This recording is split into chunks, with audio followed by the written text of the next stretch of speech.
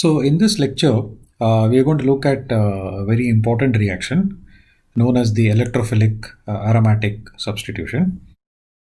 We already have a good idea about uh, the way aromatic systems are going to react. And um, so we'll now look at some of these uh, reactions in detail. So in the past uh, couple of introductory lectures, we have seen the value of NMR, both proton NMR as well as carbon NMR, and um, and how it is very useful for us to uh, to understand uh, structure of molecules and what is the local environment, etc. So now what I'm going to do in the next uh, minute or so, a couple of minutes or so, is to describe you know an NMR experiment that we do. Okay.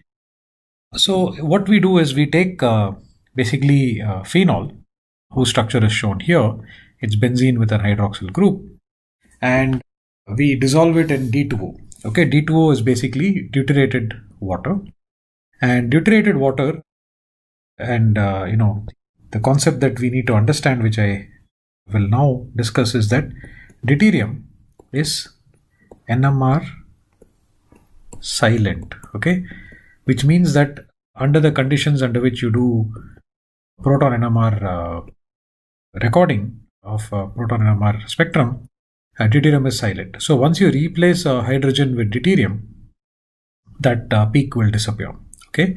So when you add uh, phenol into D2, the pK of phenol is uh, a little bit above around maybe 9, 9, 10 or so.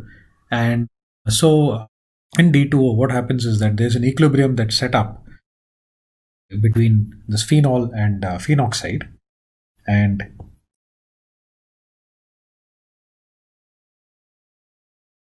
right O minus and uh, and once this equilibrium is set up, when it picks up the deuterium, it goes back to it goes to OD rather than OH.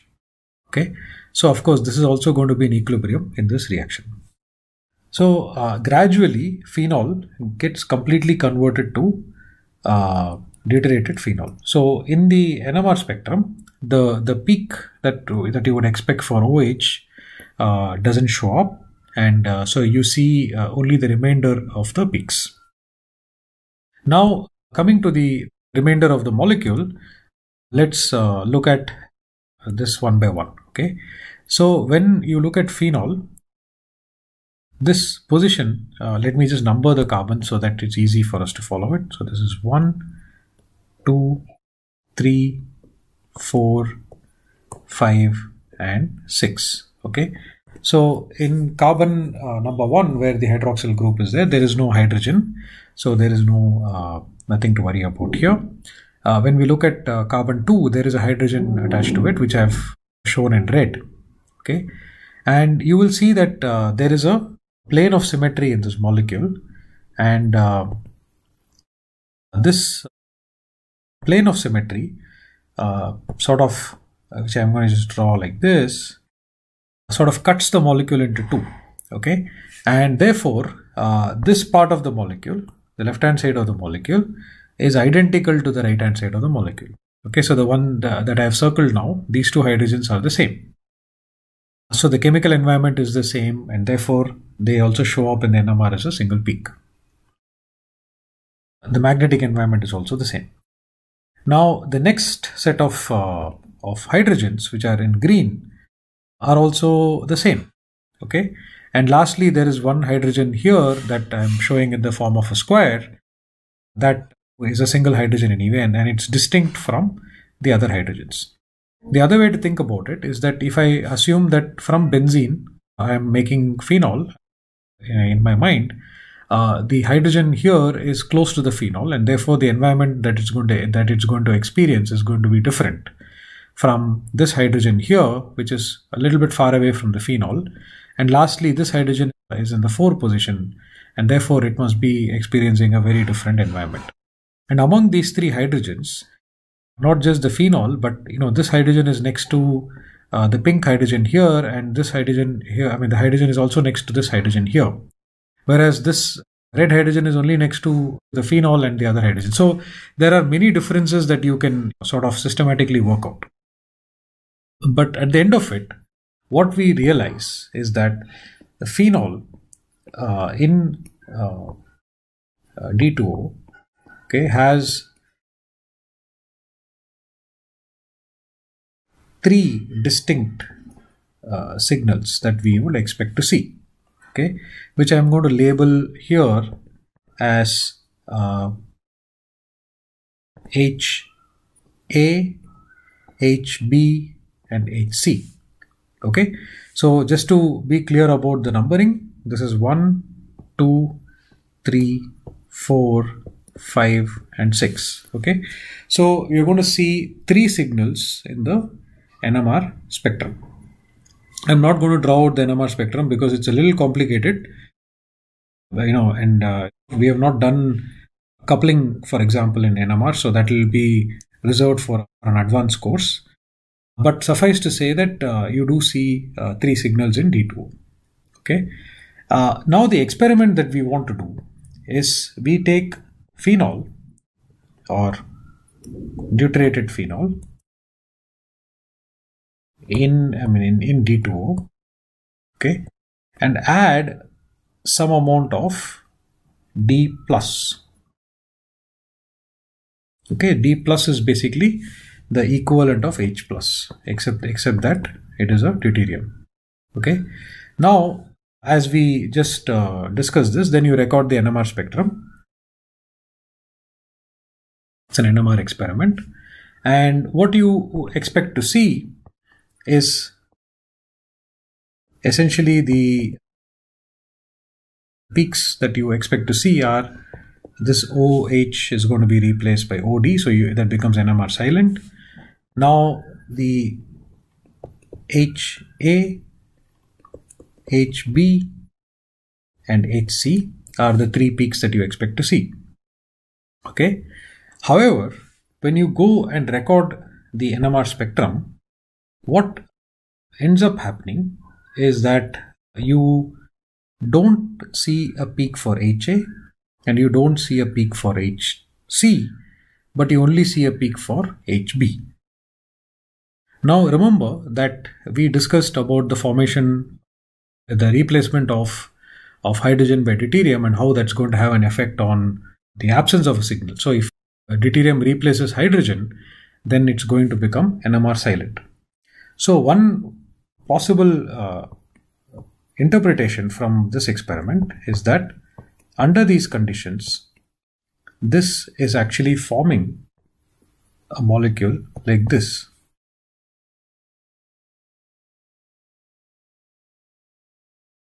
Okay, so what happens if I just uh, draw out the original structure that we had was OD, H, H, H. So as we discussed, this A, B, and C. So now this A is replaced by deuterium, C is replaced by deuterium, and so therefore you have only one signal in the NMR spectrum when you add D2 and D plus. Okay, so this is a very important experiment because this tells us that A there is a substitution reaction that is happening. Okay, so first of all, the aromatic ring is involved. So therefore it's an aromatic reaction. The second key term is the substitution that is happening. So you have a deuterium that is replacing hydrogen and therefore it is a substitution reaction. So as a reaction, we are going to call it as an aromatic substitution reaction. Now, the mechanism of the reaction or the way in which the reaction happens, uh, we will understand that it's actually an electrophilic aromatic substitution. So now let's uh, try and understand uh, the mechanism of this reaction. So before we get into the details of the mechanism, let me introduce another reaction to you. So you all must be familiar that if we start with uh, a cyclohexene and add uh, bromine to it, we get this 1,2 dibromo compound and this is a very standard reaction that uh, we're all quite familiar with. Similarly, you know, if you uh, start with a per acid uh, such as MCPBA, okay, we end up with the corresponding uh, epoxide. Okay, so these are all fairly well established reactions of olefins. But when we do the same or expose benzene to the same reaction conditions, okay, that is bromine or MCPBA, there's absolutely no reaction. Okay, so benzene is fairly stable and it really doesn't uh, do the kind of reactions uh, sometimes that uh, olefins do very easily. Okay, uh, you also would have studied it as a, as a very special property of uh, aromatic compounds, which is that 4n plus 2 pi electrons, etc. Okay, so now how do we get uh, benzene to undergo bromination? If we want to do that, then what we need to do is basically take bromine and add uh, some Lewis acid like aluminium chloride. And uh, this reaction goes fairly well. You get the product which is bromobenzene. Okay. Now if I look at this reaction uh, we can clearly say that this is an aromatic substitution reaction as we discussed in the previous case. Okay because the hydrogen uh, here is being replaced by bromine.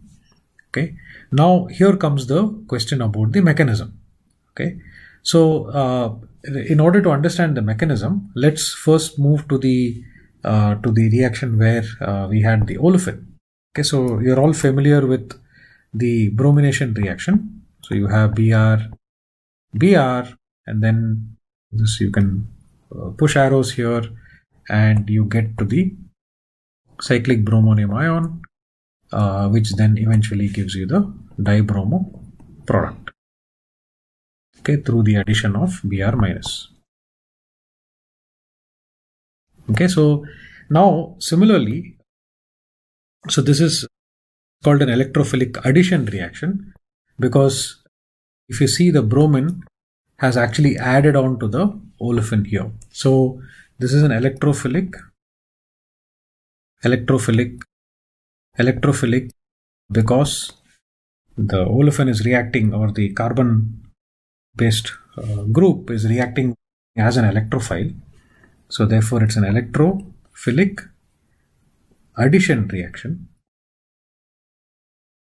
Okay and uh, it's also uh, you know it's also called as bromination epoxidation whatever those reactions they all come under electrophilic addition reactions but the important point here is that there is an electrophile that is produced, which is essentially Br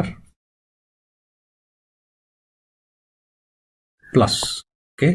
So this is important that we understand because the active reacting group is not bromide, but it is Br plus. Okay. Now coming back to the aromatic substitution reaction that we have just encountered. So in the case where we had Br2 and AlCl3, uh, what we can propose based on our knowledge of chemistry so far is that we can say that the Br, which has a pair of electrons, can coordinate with AlCl3. Okay. Once this coordination happens, it is going to produce a complex such as this, where you have Al Cl3 and uh, you're going to have uh, uh, a full positive charge on Br and a negative charge on aluminium and uh, what can happen is that this produces a, a very uh, reactive species okay? So this is the reactive electrophile that's going to react now let me uh, move to the next slide where we can discuss this in a bit of detail. So let me just draw out the benzene ring and here is your uh, Br, Br and AlCl3. So there's a negative charge on aluminium, there's a positive charge on Br because Br is donating electrons to aluminium. Now this is set up beautifully to do the electrophilic aromatic uh, substitution reaction. Here is where it attacks and then this kicks out this leaving group here. Okay? So what I will do now is I'll just number these carbons so that it's easy for us to follow. This is 1 2 3 4 5 and 6 okay so if we just redraw the benzene ring the way it is now what what is going on here is the bond between 1 and 2 is being broken and a new bond between 2 and Br is being formed. So let me just draw out the new bond Br and as you can very clearly see the byproduct is Br AlCl3 and it has a negative charge because once this lone pair goes here there's still a negative charge that's remaining. Okay? So the bond between carbon 2 and bromine is being formed and there's the bond between 1 and 2 that is broken and that would result in a full positive charge on carbon 1 okay? The remaining uh, bonds will continue because you will get you know the other double bonds are going to remain and keep in mind that this hydrogen over here remains at the 2 position. So let me just draw this hydrogen out as well so that it's easy for us to follow it. So this is carbon 1, 2, 3, 4 and so on. So these two hydrogens, I mean all the hydrogens remain intact so far hydrogen has not been lost. Okay, so this is the step where this is called the addition of E plus which is the electrophile.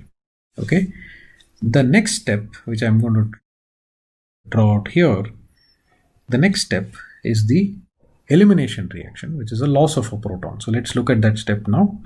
So I'm essentially drawing the same structure that I drew in the previous page. There's a positive charge here. Keep in mind that this is 1 2 3 4 5 and 6 and um, you know there's a double bond here there's a double bond here. And uh, there are resonating forms that we can look at later. But now imagine that uh, there is either a bromide or water or something in the system that comes and attacks here and produces uh, reforms the double bond. Then the product that you get is this bond remains the same this bond remains the same Br carbon bromine bond remains the same and there's a new bond that has been formed here and HBr is lost. Okay, this could also be water or it could be any other nucleophile or base. Okay, so uh, if you see, if you look at here closely, uh, you should you should be very careful with this because the numbering is very important. So I'm just keeping the numbering the same just so that we understand the uh, uh, the reaction outcome. So there's now a bond that's been formed between carbon 1 and carbon 2. That is a double bond. All right. Uh, so this is actually the is an elimination reaction. Okay. So therefore, this substitution reaction is actually a combination of the substitution is equal to addition plus elimination. Okay? So uh, so that's why this reaction mechanism is quite unique. Okay? Now coming to the resonance forms. So if i take a general structure such as this e and h and uh, i'm just going to stick to the same numbering. Or i'll just uh, change. This is one two three 4, 5, 6 and uh, the positive charge is here. The double bond here double bond here. Okay? So now you could draw a resonance form wherein I'm just going to put this positive charge outside so that it's easy for us to follow. And this becomes carbon 1 okay?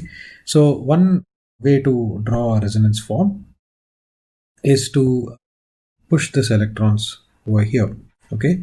So when you push the electrons over there, uh, the resulting structure uh, has exactly the same uh, structure except that there's a new double bond that's being formed here and there would be a positive charge here. This double bond remains intact okay? So just to complete the numbering this is 1 2 3 4 5 and 6 okay? And lastly if you push these electrons over here then you have a full positive charge here E H and so on. Okay? So again if I keep stick to the same numbering 1 2 3 4 5 and 6 okay? So these are the resonance forms that could uh, happen in the intermediate that sort of stabilizes the positive charge that is present okay? Now let's look at uh, a slightly different reaction which is basically the the nitration reaction. So again this is something that we might have encountered earlier uh, in our previous courses but it's a very important reaction that we understand. So when we add HNO3 and H2SO4 the product that we get here is nitrobenzene. Okay? So uh, let me just quickly uh, write out the structure of HNO3 all right now what happens uh, is that uh, this picks up a proton from uh, likely from H2SO4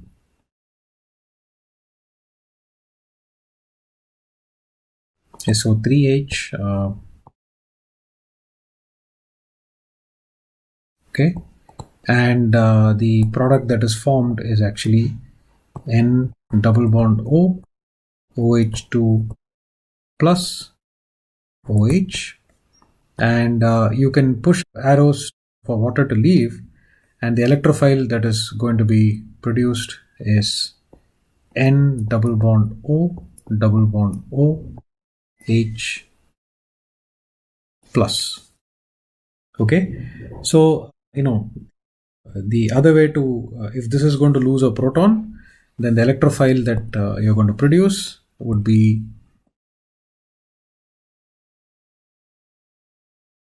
there's a positive charge here. Sorry about that. The electrophile that is going to be produced is uh, NO2 plus. Okay? Now uh, this NO2 plus is the active uh, nitrating agent and uh, the reaction that uh, it can undergo, it can mediate is the reaction with the benzene ring. So let's now draw that out. N double bond O, double bond O plus. This can attack here and this moves up and you get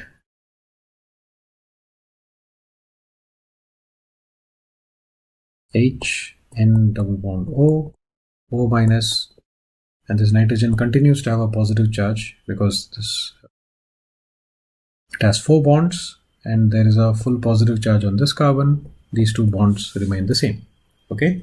Now as we discussed earlier you can propose that